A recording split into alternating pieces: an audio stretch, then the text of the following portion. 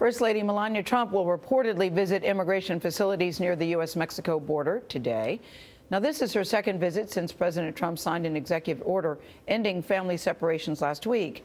Near the border, federal agents in Edinburg, Texas, allowed David Begnaud inside a home during a raid of smuggled undocumented immigrants. Morning. Gayle, good morning. It's another layer of the border crisis story. Over the last two weeks that we've been here, starting when you came down here, we showed you where people are crossing the border every day, every hour. But this involves smugglers stashing people in houses. We're in the middle of a nice neighborhood, in the middle of town. In this case, the smuggler was arrested, told police where he'd find the immigrants, and even gave him the garage door opener.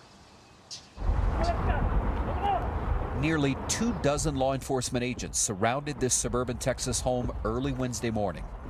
The deputy chief was just told that there's about 40 people inside. It's exactly what they had been told.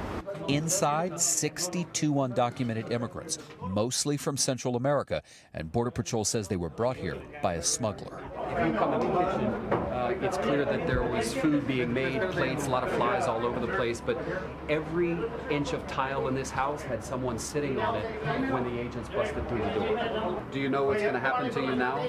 Yeah, the deported in Mexico. This woman, who was here with her sister, says she'd been in the house for 15 days. I have three, three, three children. My sister have four. Yeah, they're, they're going we to don't have any, any processing. work. Every one of these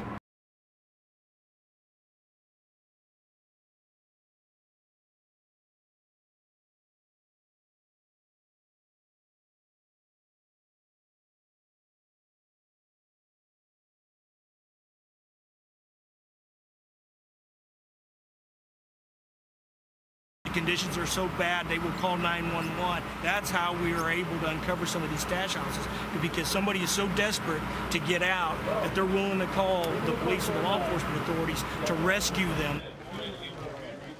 Border Patrol told me that what smugglers will usually do is go on Craigslist or find a newspaper ad. They'll rent the house, and in many cases, the owner doesn't even know what the smuggler is using it for. Heck, the neighbors don't even know. I mean, Vlad, the woman who lives across the street asked us what we were doing here. We told her, and she said, I had no clue. I mean, I live right across the street. And to think that there were 60 people living in this house, one man said he was here for nearly a month. By the way, there's only one bathroom, one shower. Disturbing details indeed. David Begnaud for us. Thank you very much.